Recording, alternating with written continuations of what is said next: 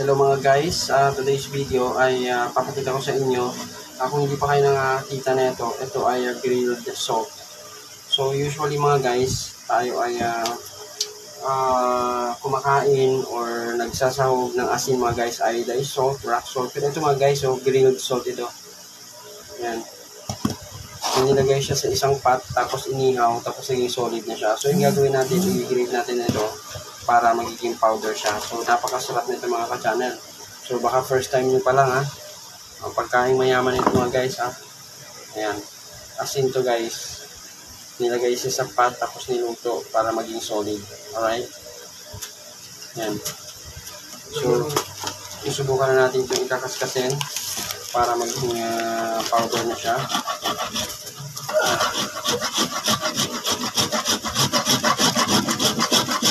Ayan, meron siya talagang specified na pang, pang kunyari, yung cheese nyo, ayan, ginag, gina, ginigrate nyo, di ba? Mo yung cheese o kaya uh, kung ano man yung kakas. Kasi so, ito ngayon mga guys, meron siya talagang designated. Ayan. Asin to guys ha, just to put on the record.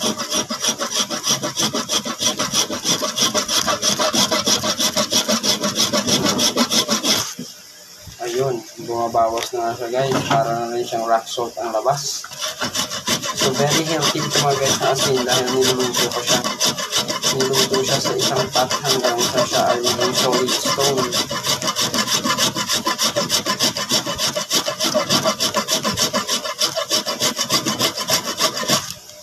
Alright, yan. Tingnan nyo naman mga guys, oh. Para na siyang uh, rock salt. Ay, para, para na siyang powder. Powder na siya. Tayo mga natin yung electric fan para mawalang, uh, yun nyo. Makikita nyo mamaya. Itsura na na, parang pulbo na siya guys.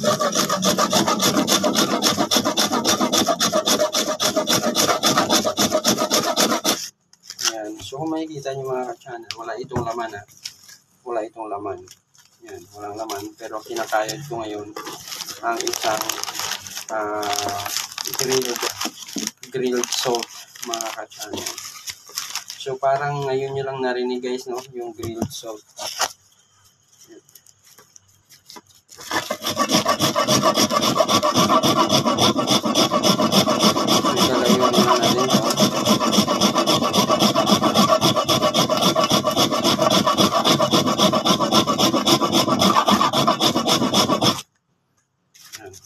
para na rin itong stone para nagkakayod na rin tayo ng salt.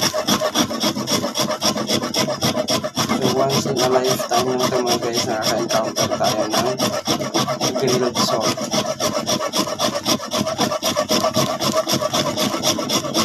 So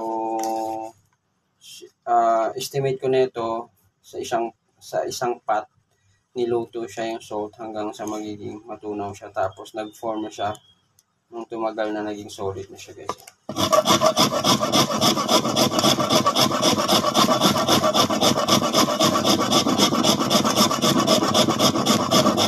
Syempre sa mga simpleng buhay mga guys, bibili lang tayo ng rock. Diba?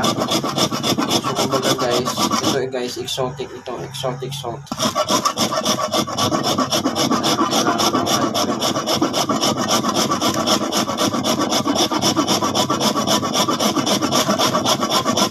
Ayan, no? At pinapakita ko sa inyo ang pinaka-outcome mga guys ng grilled salt. So, na siya para siyang powder guys. Ayan. Diba, para siyang powder. Tikman natin. Asin nga.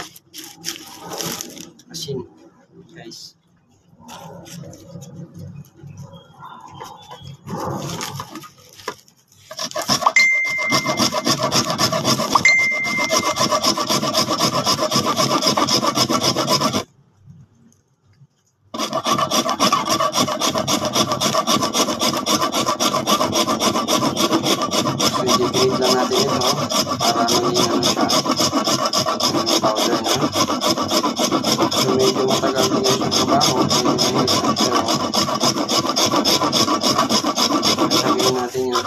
dito sa inyo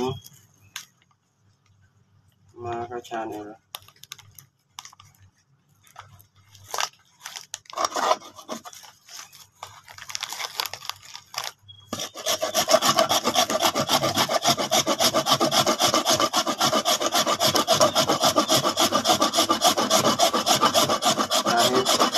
dalawang oras pati guys hindi ko kaya ubusin kasi parang batong-bato talaga, parang stone.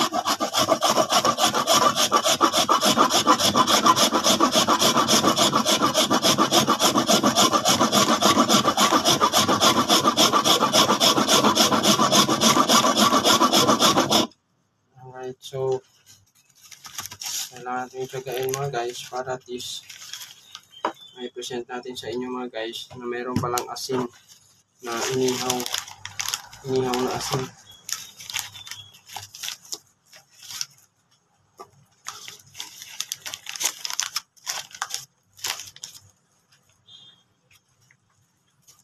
ayan paso yan guys ah.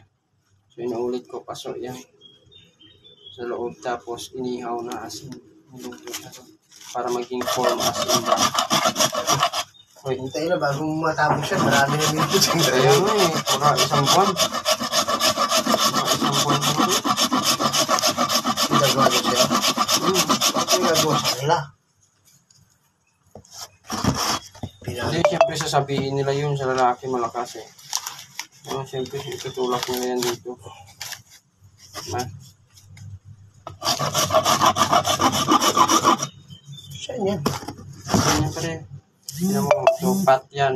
Tapos lalagyan, ilulutuin yung asin para magiging solid stone.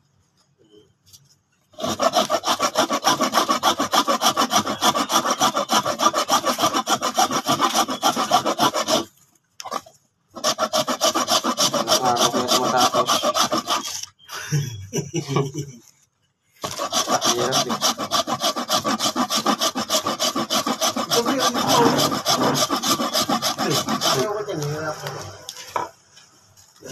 So yun na mga guys, hanggang dito na lang tayo kasi medyo matagal talaga to baka ilang buwan pa natin ito umumos. Mamakatsara din na yung asin na nabato na asin tapos papatayod. So maraming salamat mga guys sa inyong panonood. Sa nagkaroon kayo na idea na meron palang grilled. Meron palang ah, baked salt. Ayan, ah, rock. ah, solid ah, salt made of stone. Ayan. Ginawa natin yan guys. So, ito siya sa ilalim. Oh, grabe. So, exotic salt ito guys ha. Alright. So, thanks for watching. Ito na yung uh, papakita natin ulit ang outcome. Ayan. So, medyo mahaba, medyo matagal-tagal natin. Ayan o. Oh. Ayan. So, salt mga guys. So, thank you for watching guys and have a good day everyone. Have a good day everyone. Yes.